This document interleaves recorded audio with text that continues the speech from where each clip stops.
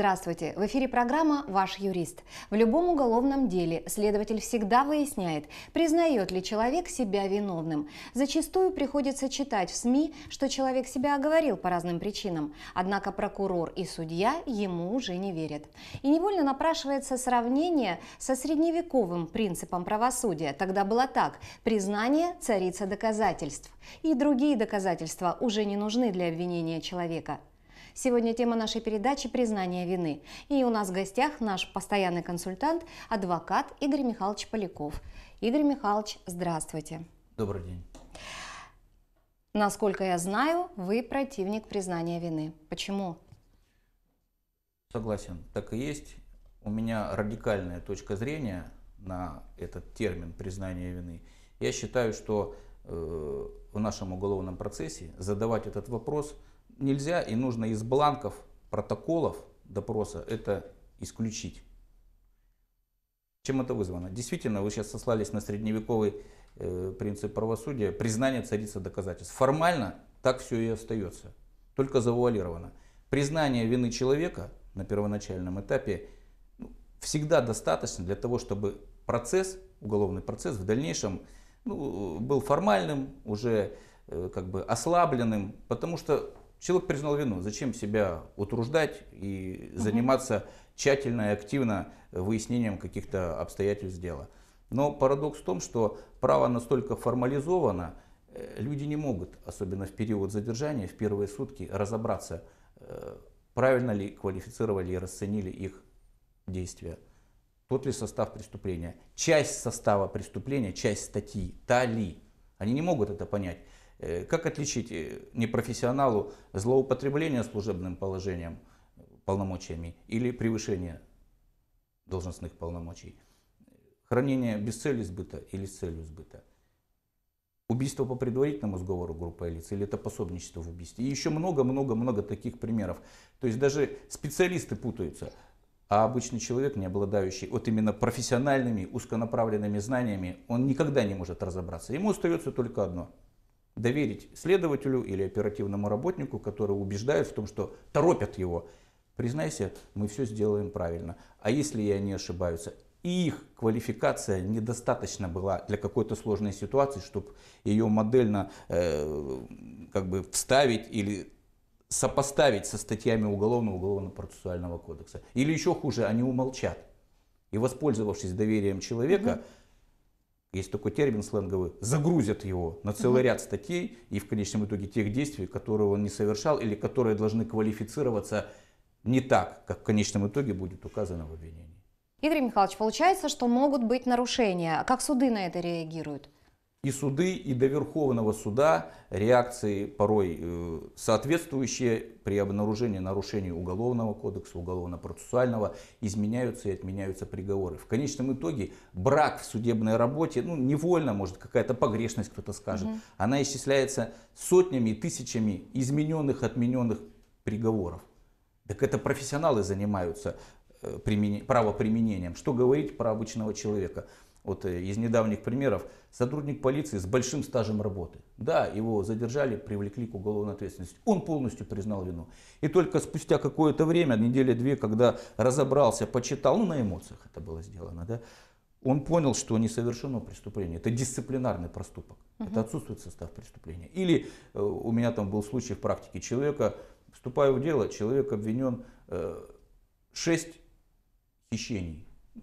Назовем заранее потерпевшего. Угу. Начинаю выяснять, то есть потерпевшего погрузили в машину насильно, привезли на базу, поговорили. После этого посадили машину, повезли в офис. С офиса повезли на квартиру. С квартиры, ну, деньги пытались еще параллельно у него как бы, вымогали, да.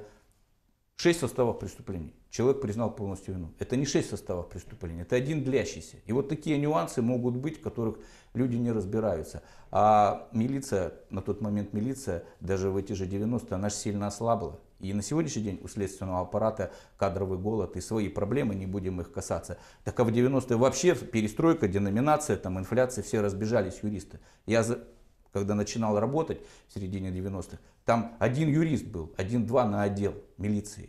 Все остальные это были. Главное требование, чтобы был вуз. диплом о высшем угу. юридическом, диплом о высшем образовании. То есть там были врачи, инженеры, там военные, экономисты, кто угодно, только не юристы. Это честные люди, они старались работать, но им нужна была заработок. Раскрытием заработок. преступления да, занимались? Конечно, да вследствие, я не беру оперативный состав, я, наверное, там была какая-то специфика. Вследствие работали не юристы. Так а сколько пока они научатся, дел будет рассмотрено и с ошибками. Это Почему? же все судьбы. Конечно, ты же учишься, получается, невольно на, э, на судьбах жизни? людей. То угу. есть ты дубишь чьи-то кожи, можно так сказать. Вот, поэтому здесь свои сложности, особенно сложность носила там статистика. Сейчас она, конечно, меняется, но это бич для работы правоохранительных органов, который просто делает систему бездушной. Но раньше, в 90-х, там вообще был перегиб. Каждый состав преступления, вмененный человеку, и дай бог, чтобы он признал его, это очень хорошо, это считался в раскрытии. Поэтому, когда человек совершал один состав преступления, одно действие незаконное, ему, как правило, вменяли 2, 3, 4 состава преступления. Ну, напутственно говорит, ты не переживай, признавай вину, в суде угу. отсекут. Имеется в виду, или в суде отвалится это все. Имеется в виду, что судья скажет, подождите, вы вменяли составов, они э, конкурирующие, несовместимые. Конечно, суд убирал, а ему статистику шло. А на самом деле это уже изначально незаконное привлечение к уголовной ответственности. Это тоже состав преступления. Но это обкатывалось опять-таки на тысячах, на десятках тысяч наших граждан, пока разбирались. Почему и, и противник э, признания вины. Угу. Я правильно поняла, что вот именно эта причина и побудила вас занимать позицию непризнания вины подзащитным? Ну, как старт. То есть угу. входишь в дело, лучше не признавать пока вину, не разобравшись в ситуацию. Если все понятно, конечно, признание вины, чистосердечное раскаяние. Но, как правило, в делах столько нарушений.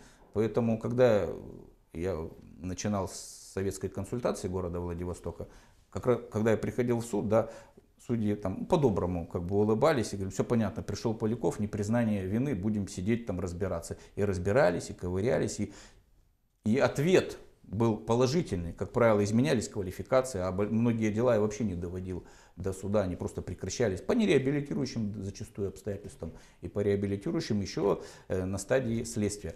Очень много нюансов. Адвокат должен быть во всеоружие. А порой и защита есть такое, угу.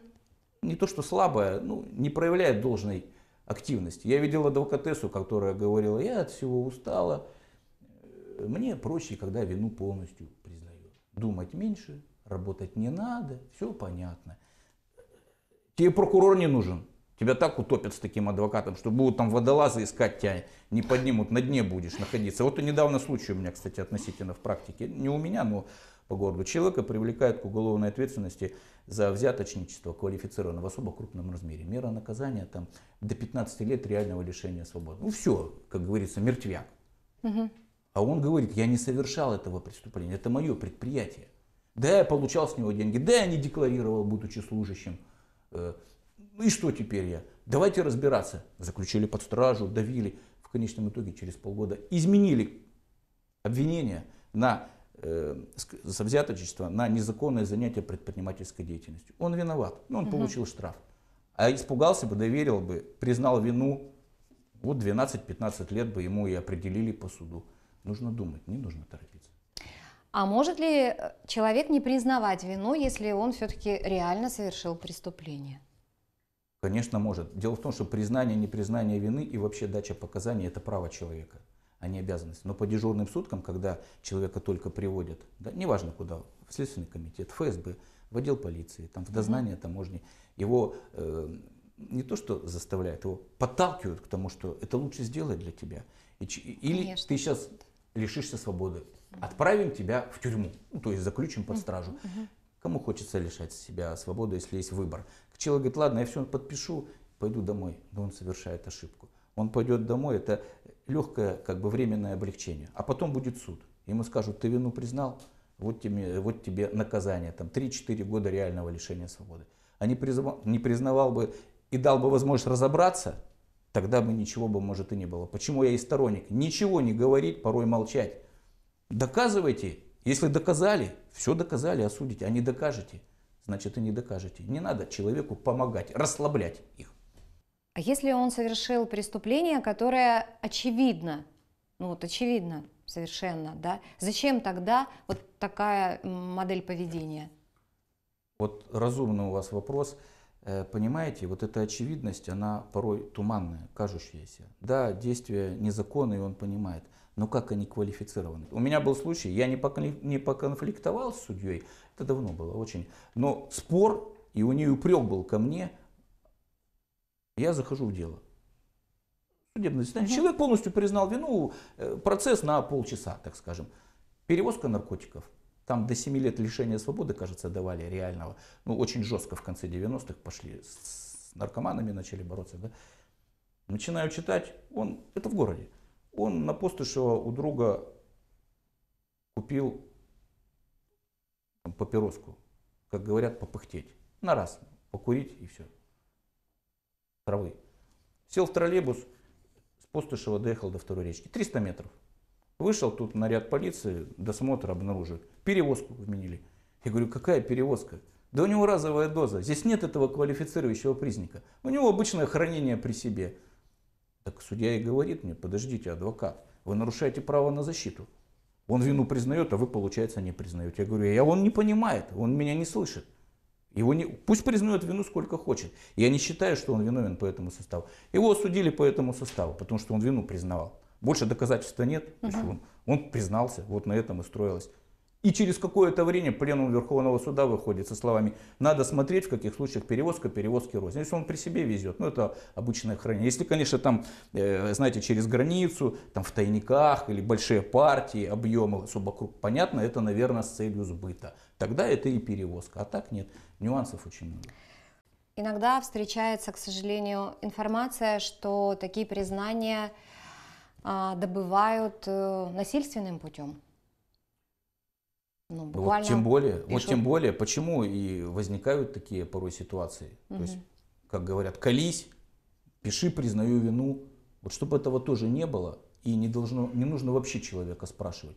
Пусть он вплоть до того, что сидит по Конституции, по 51 Конституции, любой человек имеет право не свидетельствовать против себя. То есть Нет, имеет право ну, не давать. При таких обстоятельствах а, любой признается. Ну, Ну, физическое я понимаю, насилие Я согласен. никто не да, выдержит. кстати, у нас э, был случай, давно уже, я после этого как бы не следил, а тогда остро Мгм. воспринял. То есть у меня знакомый следователь, как раз человека предъявил ему обвинение, вроде все законно, он вину признавал. На суде человек говорит, это не я, меня Мгм. били. За- заставили. Разумеется, его не услышали, осудили. Через несколько лет нашли банду, которая убивала, грабила там людей. И они признались и в этом преступлении. А он уже несколько лет отсидел. Понятное дело, его вернули, пересмотрели экстренно, срочно, оправдали, разъяснили право на реабилитацию. То так в Значит, таких случаях что делать? это редкий случай, что нашли виновных, и они признались. А так, сколько их сидит по России? Да и вообще по миру с этим Так признанием. а что людям делать, когда идет физическое насилие Я или, понимаю. или психическое? Нет, я психо- любое? соглашусь, но вот я и говорю, и выбивают, это повод. Ты должен написать, что признаю вину. Вот просто фраза полностью, даже не надо, это все написано, ты просто пиши в полном объеме или полностью. Одно слово от тебя требуется. Вот пусть его не будет в протоколах. Не надо вообще его спрашивать человека. Просто доказывайте. Почему у меня э, было, как правило, с с середины 90-х, э, я завел когда вот эту графу, как писать там, я рекомендовал писать к вопросу виновности. По вопросу виновности ответить затрудняюсь. К слову говоря, это я придумал этот термин, у меня был как-то спор со следствием, я вошел в дело, я не знал, как себя вести, середина 90-х. Я говорю, давайте возьмем паузу, я подумаю. Я считаю, он не виноват. Там у него куча статей, там было там групповые преступления, там угоны машин. Вот если думал, думал, и несколько вариантов принес следователю. По вопросу виновности ответить затрудняюсь, или к вопросу виновности у меня было вернусь позднее, по виновности выскажусь в суде. Вот. Потом я опробировал и по всем делам города Владивостока, когда я заходил на вопросы виновности, говорил, по вопросу виновности ответить затрудняюсь. Ну, спустя там десятилетия стал обращать внимание, что-то кто-то также начали писать. Вот э, лучше не торопиться, признаю, не признаю. Фактуру сообщай, но не говори, какие статьи, не реагируй на них. Да, вот эти все статьи, которые написали, признаю. Ты не знаешь, что в этих статьях содержится и о чем они. Может, они их нужно корректировать. Ты же этого не понимаешь, не знаешь. Далее, к тому же, э, на мой взгляд, э, почему это вредное вот, требование, правило отношения человека к виновности, чтобы он высказывал. У нас вот этот, если назовем институт признания вины, он себя дискредитировал окончательно и бесповоротно.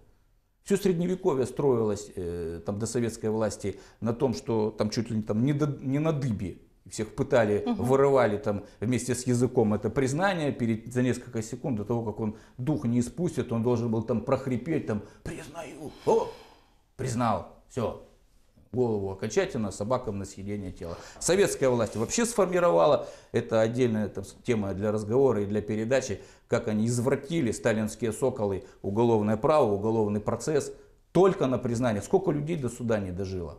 Почему я и противник? Вообще человек не должен высказывать свое отношение к виновности. Пусть государство и доказывает его виновность. Сейчас его просят, и это максимум, на что просят, да, напиши, и зачастую оно влияет только на как смягчающее обстоятельство. Но оно никогда не позволит оправдать человека. Всё. Ну, получается, мы сейчас э, не учим людей, как э, избежать да, наказания за совершенное преступление, а просто пытаемся донести, чтобы не попасть вот в эту мясорубку, скажем Да, так. ни в коем случае я не говорю, что если э, полностью твоя вина доказана, разобрался, посоветовался с адвокатами, и ты вот уперся, не признаю. Так не надо делать, но это очень ответственный шаг. Первоначальные данные показания, Чтоб не отношения отвечать. к виновности, они заканчиваются эхом. Через полгода, через год они покажут, прав ли ты был. А Ну, что- выяснится, Чтобы не отвечать за то, что ты не делал, Да, не конечно. Но а как реагируют на такие нарушения прокурор, судья? Их просто никто, как правило, не замечает. Человек признал вину, все. Да, никто эти нарушения не выискивает, не задумывается. Вс- Любой человек, так устроен наш мозг, по пути облегчения идет. Ну да. Это только обезьяна пыталась брать камень, палку и вот осложнять себе жизнь. Человек, наоборот, хочет порой вернуться к обезьяньему образу жизни. Сидеть на пальме, там есть бананы. Вот, и, ну, палкой кидаться, и не более того. Поэтому все все упрощают. И, и в этом сложности возникает. Вот недавнее дело у меня э, было групповое мошенничество. Люди признавали вину. Даже под стражей находились. Через полтора года они разобрались и поняли, что это неправильно. Они не совершали мошенничество. Были у них сложные отношения с потерпевшими, но не было мошенничества. И они отказались и от показаний первоначальных данных, и от полного признания вины. Сказали, нет, мы вину не признаем. Стали разбираться, в клинч вошли с обвинением, оправдательный приговор вынесен. Был ли оправдательный приговор? Бы, если бы они продолжали полностью, как телки, да, признаю вину, все. Да никто бы не стал разбираться, получили бы они свои сроки и уехали бы в колонии на лет 6, 7, 8. Но если человек невиновен, его же тогда оправдают? Если не виновен, его оправдают, но для этого он должен отстаивать свою позицию, и она должна начинаться с непризнания. Если он признал вину, потом пытается бороться, а это будет как гиря его тянуть в сторону колонии.